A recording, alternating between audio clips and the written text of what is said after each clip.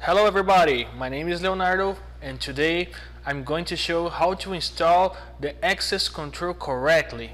Okay, so let's begin. First thing we need to do is to identify our device. So we have some models of access control. Uh, here I have two examples of them. One is the VF30 and the other the T5 Pro, the most common, common products of Anviz in the whole world. So on the left side we can see a picture of the VF30 device. And in the left in the right side the T5 Pro. And I will show you on the next slide these identifications the, the subtitles and uh, the explanation of each pin. Of course talking only about the access control itself. Okay so here I separated uh, the pins about the, the access control. So on the left side the VF30 on the right side the T5 Pro. You can see that some of them are common uh, we have on the same on both devices. So here they are. The NO is the normally open. It's for electrical locks.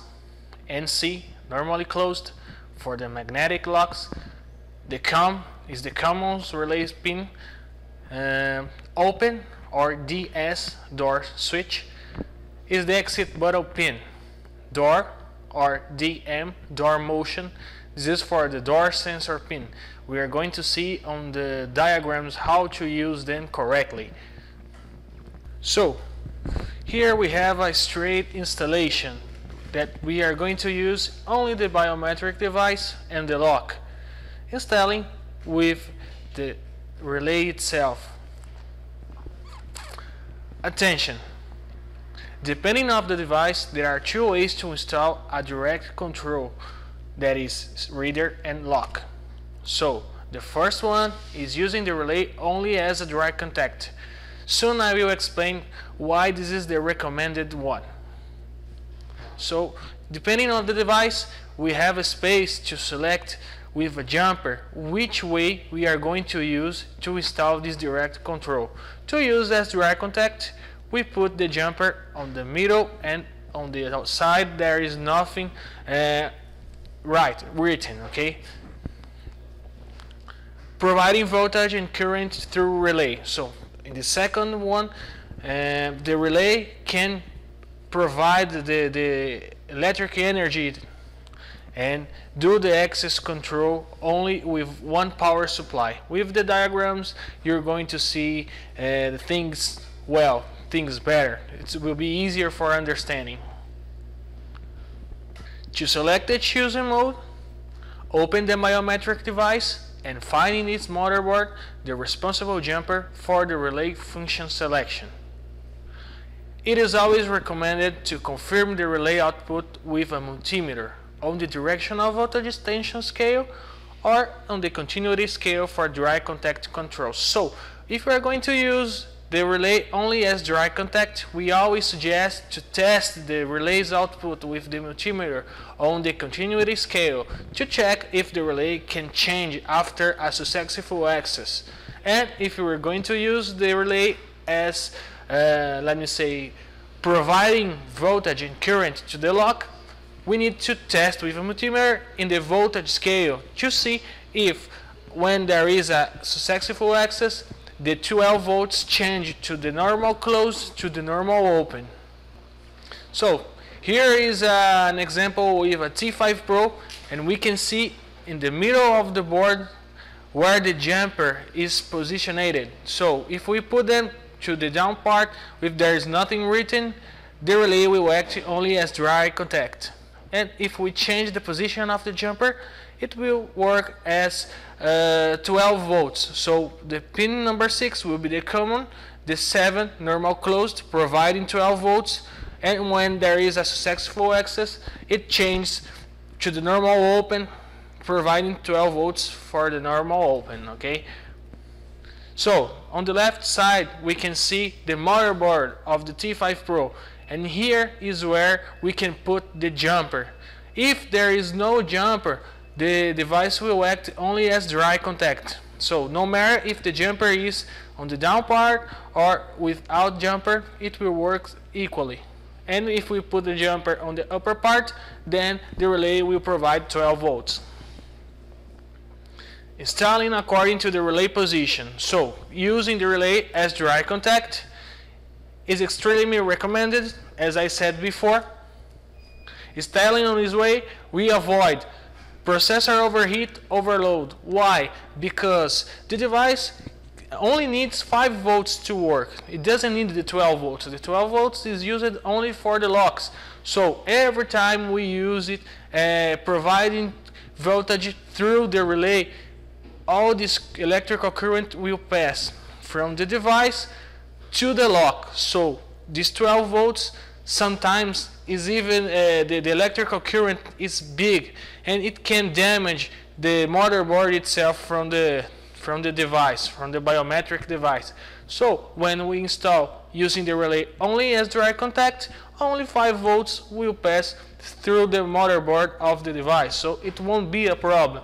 And the lock will be uh, supplied by its own power supply or the same power supply but uh, turning I mean you passing the electrical current not through the motherboard but from the other part. I will show it on the on the diagrams for you. And another very important thing is the return of the electric current coming from some type of lock. So depending of the locks, uh, there can be a, a return of electrical current coming from the lock. So when you use it as dry contact, we can avoid it too. So sometimes, depending on the project, this return can appear in the device and the device can restart after a successful access.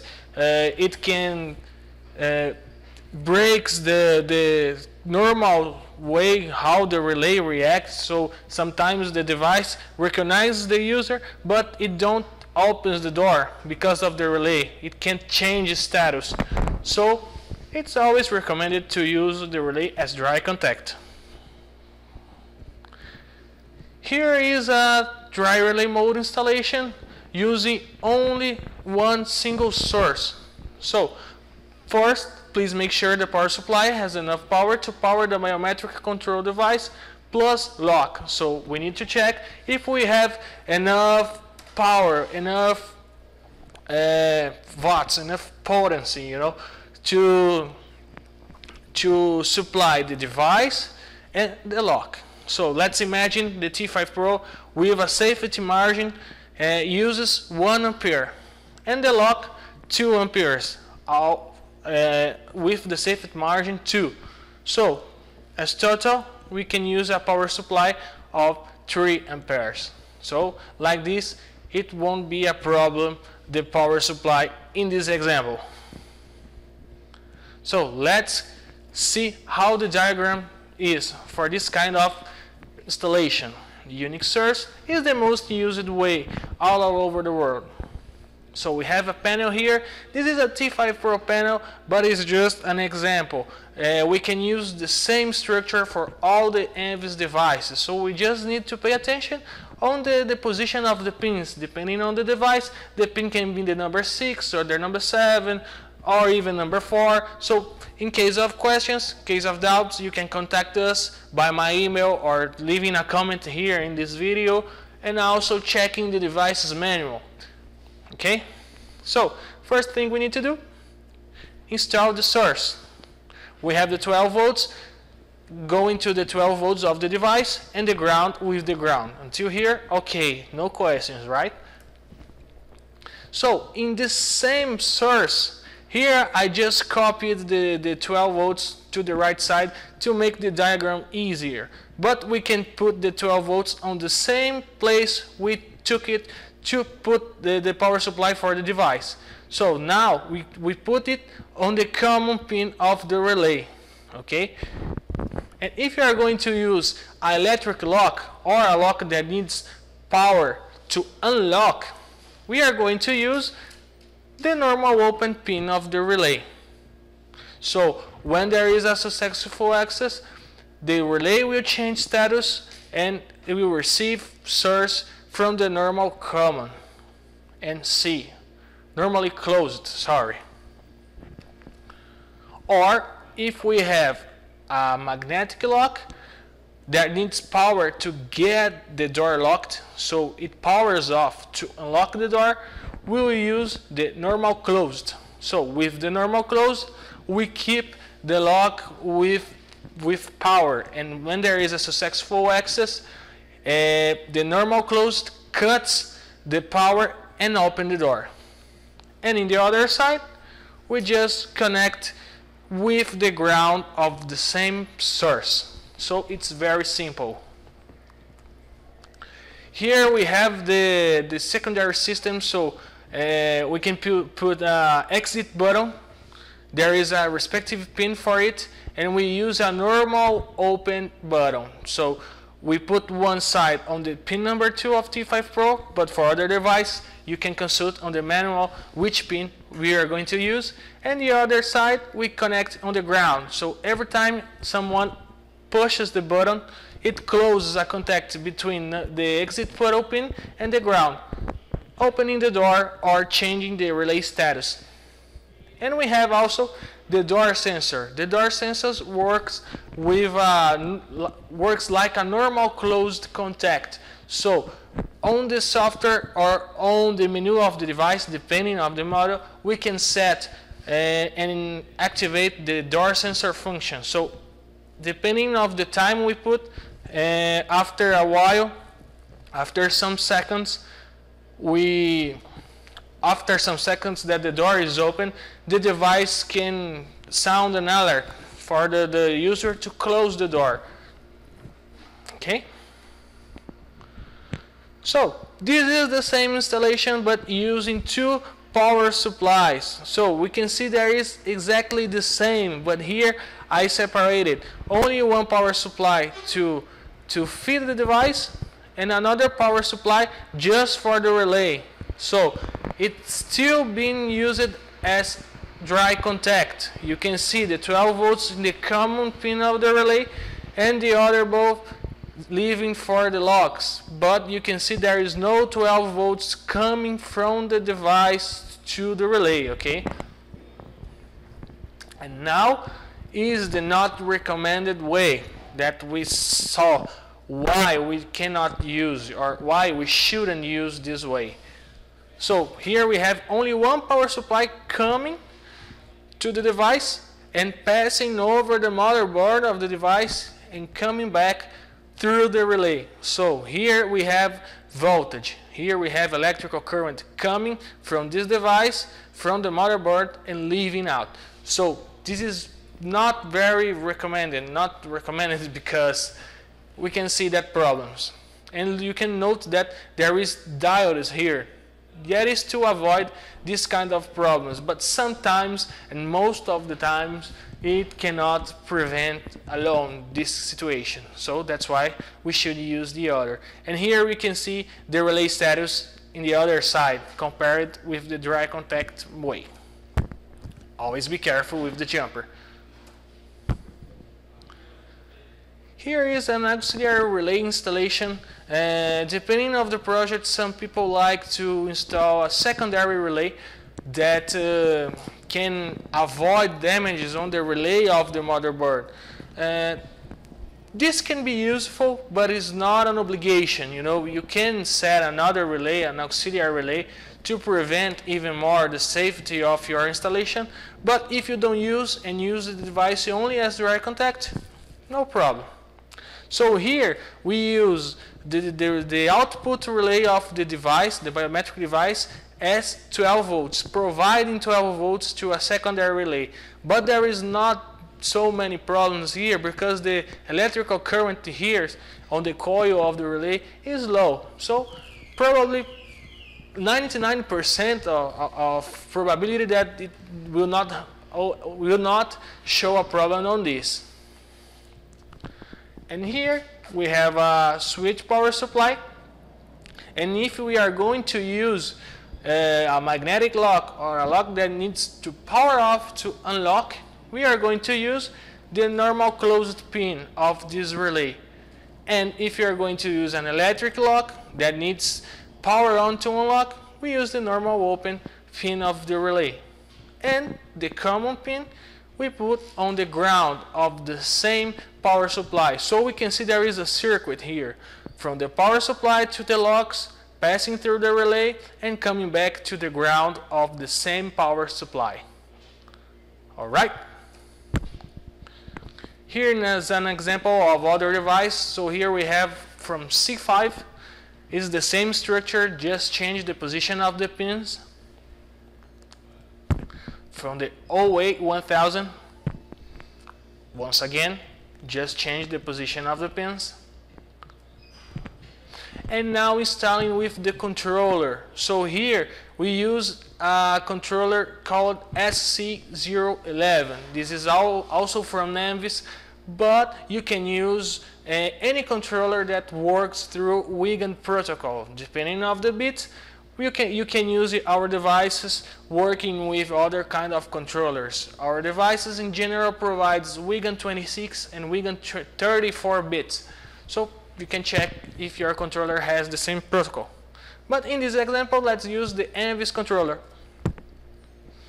To use Anviz controller, uh, we need to change the Wiegand out output of the device to Anviz Wiegand. So if we have an Anviz device and needs to work and need to work with this controller, uh, we must change this protocol. Otherwise, the device will not send the correct information to the controller and the door will, will keep closed. So on the software, here is an example of CrossChex Standard. After communicating the device, we go to device parameters and here there is a Anviz Wiegand inside the Wiegand mode. So we, cha we change to Anviz Wiegand and we save this function and after it we can proceed with the installation. Here is the diagram for the T5 Pro. So uh, here we have the Wiegand output of the device. So we can see that the Wiegand input of the, the SC011 D0 with D0, D1 with D1. And we always interconnect the ground pins. So you can see in the output Wiegand of T5 Pro is connected with the same ground of the SC011 and with the power supply input. So this is very important. And in the other side, we have the locks. Power off to unlock, we use the normal closed. Power, one, power on to unlock, we use the normal open and you can see the circuit over here. So it's the same structure we just change the device. And here for the M5 device is the same structure as I said already. So here we have some numbers. This is the number of the pins of the M5 so to have more details you can check the pinout in the device manual so guys that's it um, if you have any questions, any suggestions, comments, please don't hesitate in contacting me through my email, through the comments on this video. You can send a, a message to me and we keep talking. I, I hope you have enjoyed this video and we stay here to support you well on your projects. Okay, see you guys. Bye bye.